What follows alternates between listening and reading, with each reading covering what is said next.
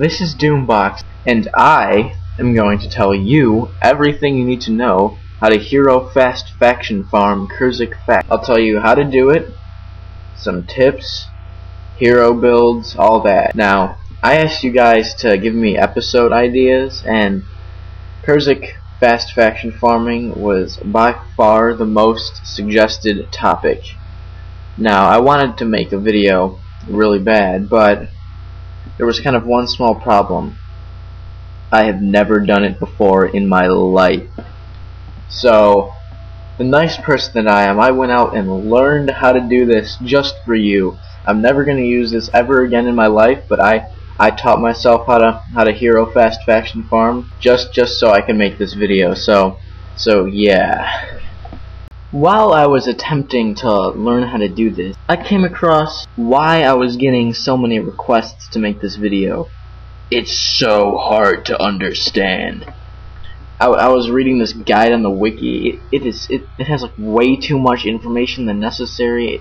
you can't even. It, it's so annoying. It took me like a week to figure it out. So so hopefully it'll be pretty clear after watching this. If you you can't really figure it out and it's a little you know you don't even know what to do like I was for like an entire week. Chances are, if you're watching this video, you probably know what hero fast faction farming is, but just in case, I'm gonna go back to the basics.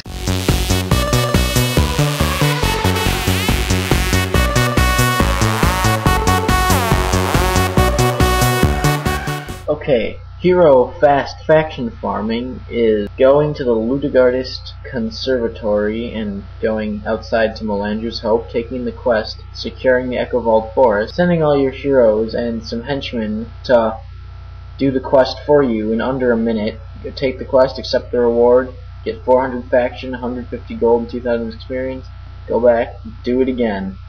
Doesn't seem so hard, does it? Well, it really isn't, but when you're trying to learn it from the wiki, it may seem more difficult than it really is.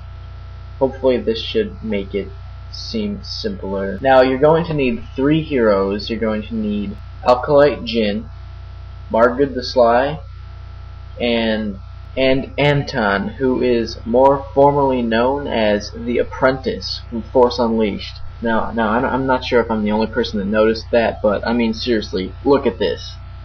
The resemblance is uncanny. Of course, you can use Pyre Fierce Shot or Zenmai if you really wanted to, but I don't know why anyone wouldn't want the apprentice with them while HFFFing. Okay, the skills for both of the rangers are Dash, Dodge, Zojun's Haste, and Shadow Form. Yeah, that's all you need. And then the skills for the apprentice or Zenmai are Dash, Dodge, Zojun's Haste, Natural Stride, and Shadow Form. So, it's not as complicated as you would think. You're also going to need Devona and Lucas, the two warrior henchmen found in Lutgardis Conservatory right there. Okay, order your heroes like this. Acolyte Jin, Margrid the Sly, and The Apprentice, or Zenmai, or Pyre Fierce Shot, whoever you're using for your third one.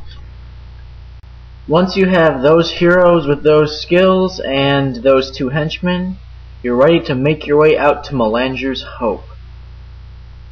The quest securing the Echovald Forest consists of scouting these five locations on the map, and you would send your heroes out to do this for you, before you take the quest, so it is already complete when you accept the quest. So all you have to do is put your hero flags in the right place and activate their skills at the right time. This is the part that can get kind of confusing, but I'll try and explain it as good as I can.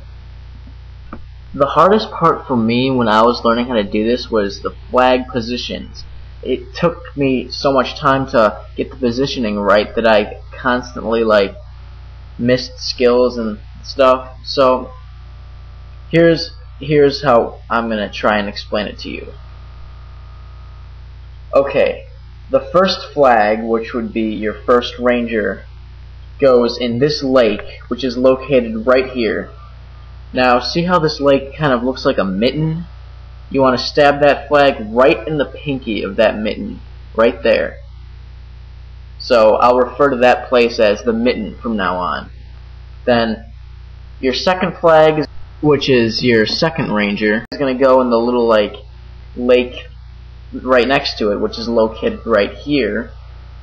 And see how it kind of forms a cross, but not really. Like, see how see what I'm trying to say here? It can make a cross. You're gonna stick that flag right in the center of where that imaginary cross would be.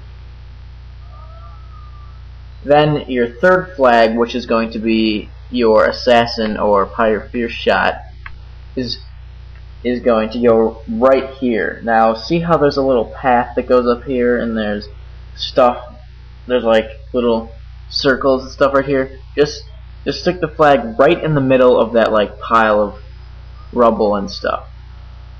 Now your fourth flag, which is the entire party flags, which will flag the two henchmen, go just right at the end of this bridge. That's that's as easy as it gets. And that will be the order you flag them into. I'll get into more detail of what you do right after this.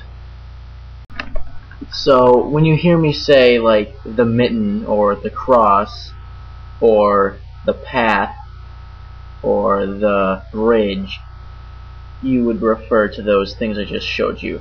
Now there is a, another one, another point that you will flag your hero that you sent to the cross after a certain time period. We're going to call this one the river. See how there's a river right here? Okay, you'll see how the river goes up past like the cross and there's a bridge right here. It's past, it's right past that bridge. The river like goes around a little turn thing. On the inside curve of the uh, where the river turns, there's like a black mountain blob thing, and before it starts to turn, you see a little divot cave-in thing on the black blob. You're going to stab the flag right in that divot, right there.